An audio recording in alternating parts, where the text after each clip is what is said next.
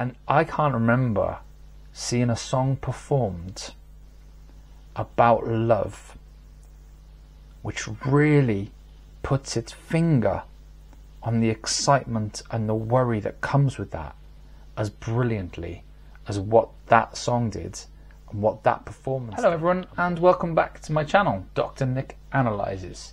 I'm a university lecturer and I tend to react to and analyze various videos on YouTube and try to pick them apart in terms of how useful they are in informing us about mental health and well-being.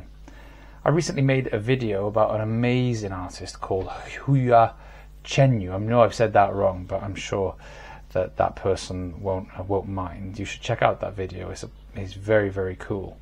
Anyway, in the comments, someone said there's another one who's equally as talented and goes by the name of Dimash. And so what I've done is I've literally gone onto YouTube and typed in Dimash and uh, I'm going to analyze a song of his. It is called Love is Like a Dream. So I hope you like what I go for. All right then. Let's click play. Dimash Kudaibergen.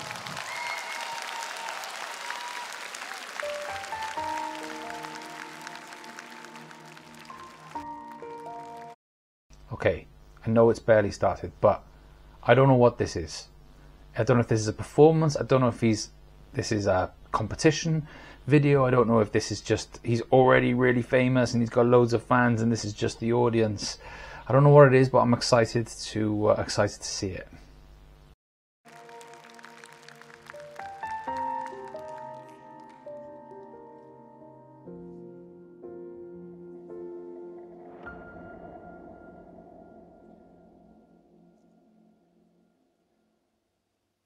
Я в глаза твои, как в зеркало смотрюсь.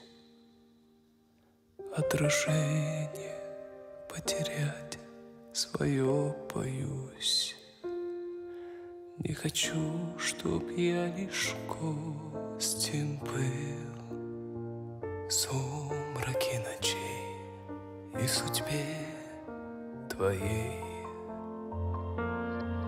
Я люблю тебя, как любят жизни раз.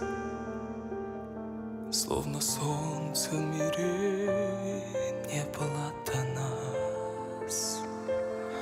От забот и мелких ссор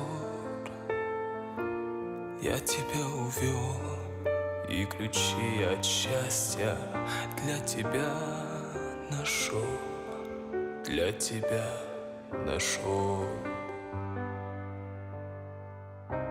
Любовь похожая на сон Сердец хрустальных перезвон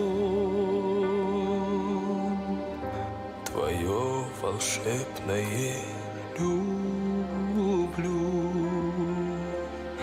Я тихим эхом повторю Любовь похожая на сон.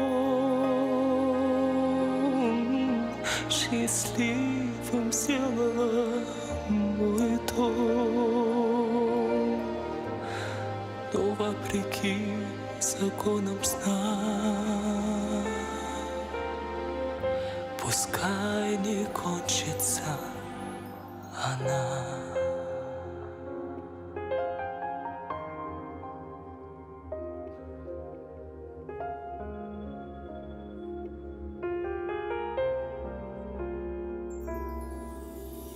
прощаю одиночество и грусть. Ты сказала в них я больше не вернусь. Так бывает только в сладком сне, но любовь у нас наяву сейчас. Мне в глазах твоих себя не потерять. До разлуки нам любовь не разменять. И немыслимой ценой И своей мечтой Заслужил ли это счастье быть с тобой всегда с тобой. Любовь похожая на сон. Сердец хрустальных перезвон. Твое волшебное люблю. Эхом повторю Любовь похожая на сон. Счастливым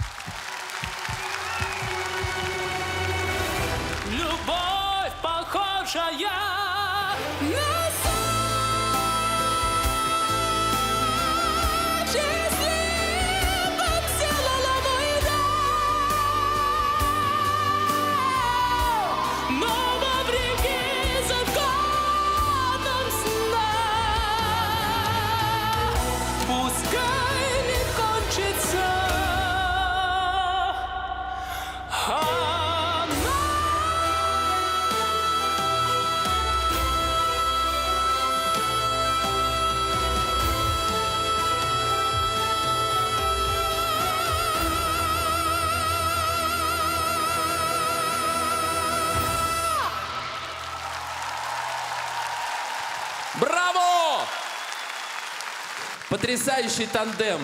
Невероятная песня. Спасибо! Wow. Wow. Wow. Right, what's going on in my head? Well, the first thing that pops out of watching a song like that and a performance like that is the sheer talent of the individual, Dimash. Um, and I'm not really just talking about in terms of his voice. Like, I, I'm going to assume that a lot of people talk about the range in his voice because he starts off singing really quite low and he goes right through the range, right to like a ludicrously high uh, high note, but always in tune. So I assume a lot of people talk about how talented he is as a singer. But I also think there's the delivery of the performance. Um, and, and the main question that was going through my head as I was watching it was, did he write this? And there, are, whether the answer to that question is yes or no is equally remarkable, right? Because if the answer is yes, he did write that, then it makes sense that he pulled off the performance in such a believable way. It didn't feel tokenistic. Do you know what I mean? He felt like he was really feeling that. And if he didn't write that, then how did he get that level of feel? How did he get inside the song that much to be able to pull off such sort of like a believable performance? You know, that would make him a really, really good actor as well as a really good singer. And so, though, if he did write it as well, then what we've got here is someone who can sing, really sing, someone who can pull off a performance in an incapt, in a captivating, um, you know, a mesmerizing, almost like you know. I didn't stop the video there. I was pretty transfixed throughout it, and a lot of that comes from the performance of it. But we could also have a writer, you know, someone who writes lyrics that have such depth, and so I can understand why someone would have pointed me in uh, in this direction. I can understand the comparison with uh, Hua Chenyu as well. In terms of the the lyrics, what um, what delicate lyrics. They point to something that exists in the world from the world of psychology that not a lot of people really take the time to think about. The lyrics point to the, dance that happens between excitement and worry when we fall in love. You know, the way he was singing that was just an excitement at feeling this way, right?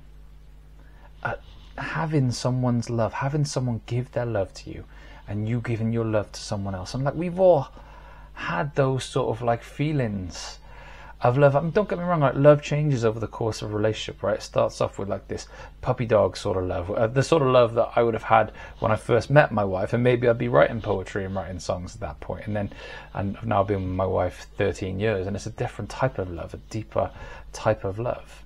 But what a feeling it is to know that I I have that. Um, I have that experience of having someone unconditionally love me and me unconditionally love them. It's it's sort of like my main reason for being alive, right?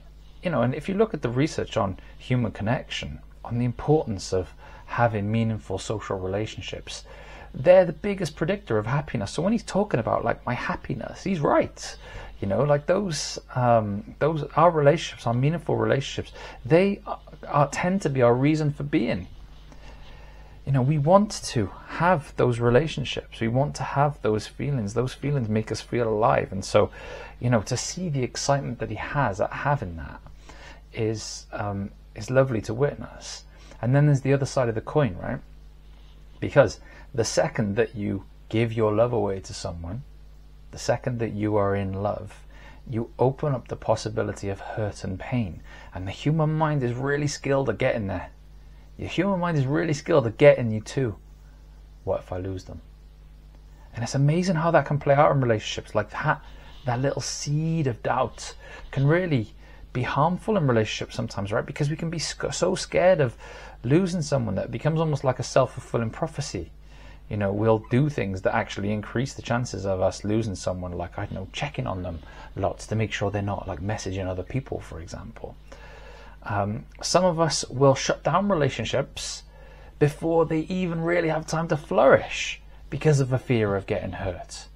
It's almost like, you know, in order to be able to really love someone, you also need to be able to accept that uh, the possibility of hurt. And you know what? It's not even a possibility. It's an inevitability, right? You think about it, right? Imagine you fall in love with someone. Unless you die, which isn't a great option, unless you die, that person could leave, could get ill, could die. Do you know what I mean? And what's going to happen when the person that you've given your love to is gone? You're going to feel horrific. And so a lot of people react to that, to that realization by just thinking, do you know what? It's easier not to love at all. And yet, what sort of life do we have as a human being if we're not going to give away our love? And so you know, I sometimes it takes things like music to illustrate stuff to us about life as a human being. And I can't remember seeing a song performed about love which really puts its finger on the excitement and the worry that comes with that as brilliantly as what that song did and what that performance did and what that voice did by this fella that I've never heard of before called Dimash.